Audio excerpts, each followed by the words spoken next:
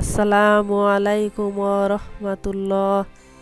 সম্মানিত শ্রোতা আমার দিনী ভাই বোনেরা আপনাদের সকলকে জানাচ্ছে আন্তরিক মোবারকবাদ মানবতার সমাধান চ্যানেলের পক্ষ হতে। আশা করি আল্লাহর অশেষ রহমতে আপনারা সকলেই ভালো আছেন। আজ আমরা আলোচনা করব, কেউ দোয়া চাইলে কি বলতে হবে? দোয়া অর্থ চাওয়া, প্রার্থনা করা ইত্যাদি। আল্লাহবাক বলেন, তোমাদের কাছে যখন কেউ দোয়া চাবে, তখন তোমরা তার জন্য সেভাবেই দোয়া করবে। যেভাবে তোমরা মনের গভীর থেকে নিজের জন্য প্রাণ খুলে আল্লাহর কাছে কিছু চাও। আনাস ইবনু মালিক রাজি আল্লাহু বলেন, আমার মা আমাকে নিয়ে রাসুল সাল্লাহ সাল্লামের নিকটে গেলেন এবং বললেন, হে আল্লাহ রাসুল, আপনার এই ছোট খাদেম আনাস, আমি তার জন্য আল্লাহ নিকট দোয়া যাচ্ছি। আপনি তার জন্য দোয়া করুন।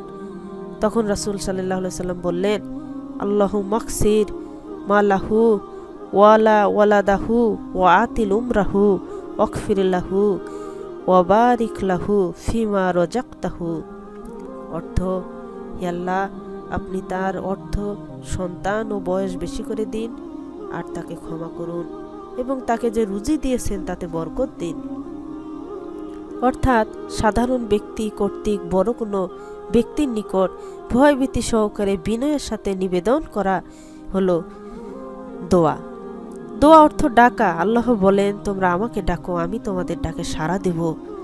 দোয়া অর্থ ইবাদত করা। আল্লাহ বলেন, তুমি আল্লাহ ব্যতীত এমন করে ইবাদত করো না যে তোমার ভালো মন্দ কিছুই করতে পারে না। দোয়া অর্থ বাণী।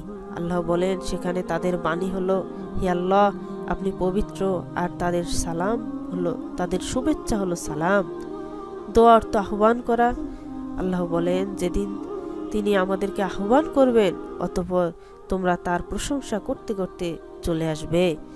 দোয়া অর্থ অনুনয় বিনয় করা। আল্লাহ বলেন, তোমরা তোমাদের সাহায্যকারীদেরকে বিনয়ের সাথে ডাকো।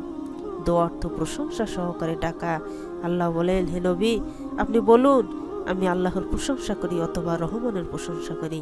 তাই আসুন আমরা আল্লাহ এবং রাসুলের দেখানো পথে চলি এবং আল্লাহ ও রাসুলের নিয়ম অনুযায়ী আমরা আল্লাহর কাছে দোয়া করি।